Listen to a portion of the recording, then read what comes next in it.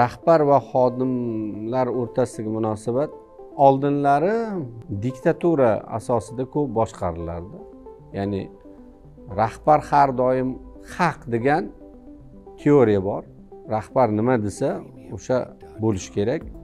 O'sha narsani xodim ijro etishi kerak degan qoidalar ishlangan. Hozirgi zamonaviy biznesda zamonaviy menejmentda bundan уже ancha e, chetlanyapti hozir rahbar emas ko'proq biznesda lider kerak bo'lyapti.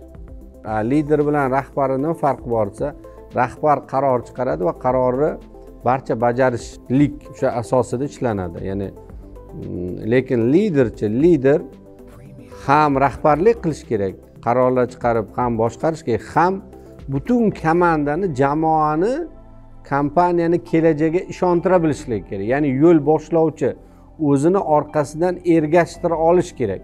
O'zini gapiga o'zini e, kelajakdagi bo'ladigan e, olishi mumkin bo'lgan yutuqlarga rahbar sifatida qolganlarni ishontira bilish kerak. Liderlik qobiliyati bo'lishi kerak. Mana shu narsa agar bo'lmasa e, ko'p kompaniyalarda yaxshi kadrlarni boshqa anavlarga ketib qolishlik holati yuz beradi. Hozir endi ko'proq jamoa degan narsa tushunchalar rivojlanadi. Rahbar trener vazifasini bajarishi kerak. Misol futbolda kim bor? Yulduzlar bo'lishi mumkin yulduzlar. Lekin hammani o'zini o'rni bor. Posbon bor himoyachi bor yarim himoyachi bor hujumda hamma o'zini o'rnini egallashi kerak va o'z ishini ustasi bo'lishi kerak. A trener nima qilishi kerak? Hammani boshqara bilishi kerak.